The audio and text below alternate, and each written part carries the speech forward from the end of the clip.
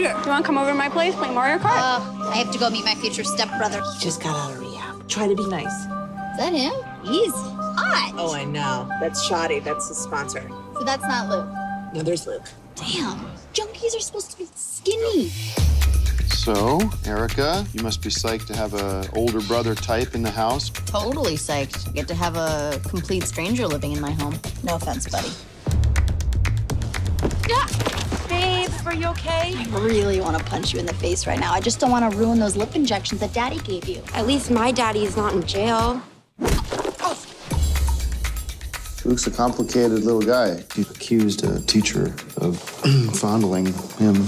Thinks he saw him around town. Shaking down a child molester is our moral obligation. Nobody's going anywhere until we see this guy molest ah. somebody. I don't think he will. He's like a pro. That's what you get like a subterranean dungeon for. What? Yeah. Totally. Oh, Do I know you? I'm sorry? Bowling alley? You're hot old guy. Me and my friends, we've been ogling your goodies for like the last six months. My goodies. Yeah.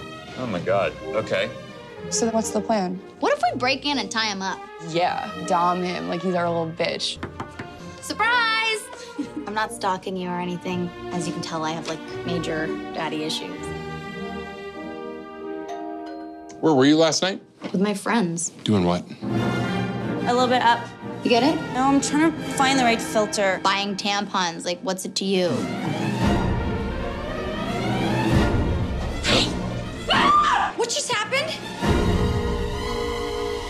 Vigilantes. Cheers. Are you okay? No, I'm obviously not okay. Where are you guys going? To go buy some crack? You wanna throw it down? It's okay. They're not buying drugs, Bob. Just let him No, I get the joke.